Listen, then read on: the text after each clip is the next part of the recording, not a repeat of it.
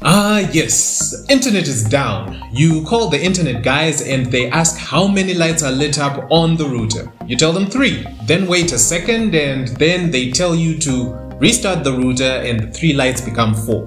But what do these lights mean and what in the world do they have to do with my internet?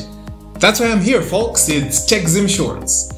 The four lights, these are actually sort of universal whether you're using a TelOne router or a Zol router. But in this case, we are focusing on the fiber ones.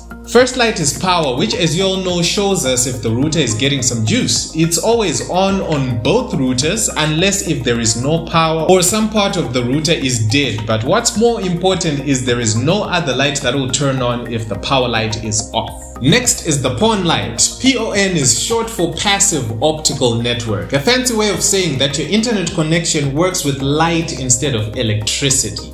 Anyway, this light is on when your fiber connection is nice and solid. If this light is off, then you have a connection issue which will turn the next light on the list red.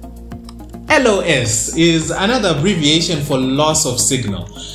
It's pretty self-explanatory. Your router is not receiving a good enough signal or no signal at all if it is red.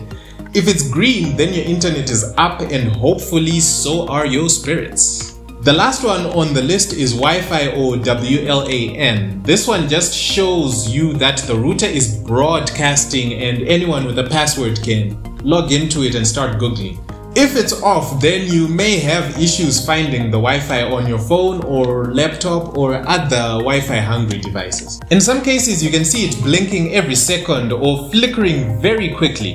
Don't worry, it just means one or more of the devices connected to it are downloading or uploading something. Totally normal. That's all I have for lights on a fiber router. Catch you in the next one.